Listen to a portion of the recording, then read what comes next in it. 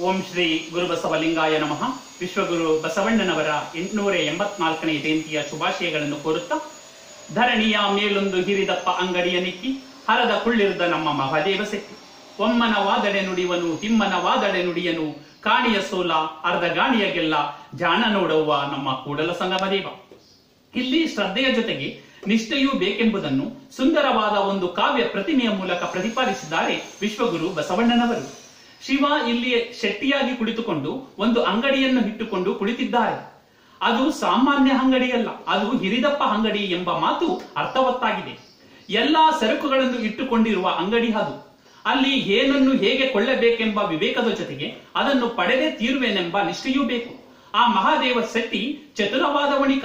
ಒಮ್ಮನವಾದರೆ ಮಾತ್ರ ಆತ ನುಡಿಯುತ್ತಾನೆ, ಇಮ್ಮನವಾದರೆ ಆತ ನುಡಿಯುವುದಿಲ್ಲ. ಒಂದೇ ಮನಸ್ಸು ಎಂದರೆ ಏಕೈಕ ನಿಷ್ಠೆ, ಶ್ರದ್ಧೆ, ಅದು ಒಡೆದು ಬೇರೆ ಬೇರೆ ಆದರೆ ಇಮ್ಮನವಾಗುತ್ತದೆ. ಆಗ ಆತ ನುಡಿಯುವುದಿಲ್ಲ. ಈ ವಿಚಾರದಲ್ಲಿ ಆತ ಬಹಳ ಕಟ್ಟುನಿಟ್ಟು, ಅರ್ಧ ಕಾಣಿಯನ್ನು ಕಡಿಮೆಯೂ ತೆಗೆದುಕೊಳ್ಳುವುದಿಲ್ಲ, ಹೆಚ್ಚಿಯೂ ತೆಗೆದುಕೊಳ್ಳುವುದಿಲ್ಲ. ಆತನಿಗೆ ಬೇಕಾದದ್ದು ಶ್ರದ್ಧೆ, ಪ್ರೇಮ, ಭಕ್ತಿಗಳು. ಅದನ್ನು ಬಿಡುವುದಿಲ್ಲ. ಅಂತೆಯೇ ಆಡಂಬರವಾದ ಭಕ್ತಿ ಇತ್ಯಾದಿಗಳನ್ನು ಹೆಚ್ಚಾಗಿ ಕೊಡುತ್ತೇನೆ ಎಂದರೆ ಆತ ತೆಗೆದುಕೊಳ್ಳುವುದಿಲ್ಲ. ಸರಕಿಗೆ ಬೇಕಾದಷ್ಟು ಅದನ್ನು ಭಕ್ತಿಗೆ ಮಾರುವುದರಲ್ಲಿ ಆತ ಜಾಣ.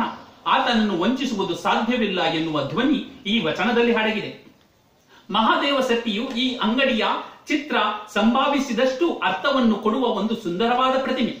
ಭಗವಂತ ಮತ್ತು ಜೀವ ಇದರ ವ್ಯವಹಾರದಲ್ಲಿ ಜೀವ ತೆರಬೇಕಾದರೆ ಮೌಲ್ಯವೆಂದರೆ ಸತ್ಪರವಾದ ಶ್ರದ್ಧೆ ಮತ್ತು ನಿಷ್ಠೆ. ಅದರಲ್ಲಿ ಕೊರತೆಯಾದರೆ ಭಗವಂತನ ಒಲುಮೆ ಸಾಧ್ಯವಿಲ್ಲ.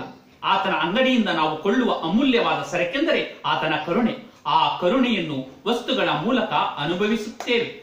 ನೇರವಾಗಲ್ಲ, ಅದಕ್ಕೆ ಕೊಡುವ ಹಣ ಭಗವಂತನ ಒಮ್ಮನವಾದ ಶ್ರದ್ಧೆ. ಅದರಲ್ಲಿ ಕೊರತೆಯಾಗಬಾರದು. ಭಗವಂತನ ಅಂಗಡಿಯ ವಸ್ತುಗಳ ಭವ್ಯತೆಯನ್ನು ಅನುಭವಿಸುತ್ತಲೇ ಅದರ ಹಿಂದಿರುವ ಆತನ ಕರುಣೆಯನ್ನು ಪಡೆಯುವುದು ಆ ವ್ಯಾಪಾರದಲ್ಲಿ. ನಾವು ಸಾಧಿಸಬೇಕಾದ ಕುಶಲತೆ, ಅದೇ ಜೀವನ ಕೌಶಲ್ಯ. ಹೀಗೆ ಒಟ್ಟು ಜೀವನ ದೃಷ್ಟಿಯನ್ನು ತೆರೆದಿಡುತ್ತಾ ಹೋಗುವಷ್ಟು ವ್ಯಾಪಕವಾದ ಅರ್ಥವನ್ನು ಇಲ್ಲಿ ಕಾಣಬಹುದು ಎಂದು ಹೇಳುತ್ತಾ ಅಂತಹ ಅಚಲವಾದ ಶ್ರದ್ಧೆ, ನಿಷ್ಠೆ, ಭಕ್ತಿಯನ್ನು ನಾವು ಪರಮಾತ್ಮನಲ್ಲಿ ತೋರಿಸೋಣ ಎಂದು ಹೇಳುತ್ತಾ ಈ ವಚನದ ತಾತ್ಪರ್ಯಕ್ಕೆ ವಿರಾಮವನ್ನು ಹೇಳುತ್ತೇನೆ. ಶರಣು ಶರಣಾರ್ಥಿಗಳು.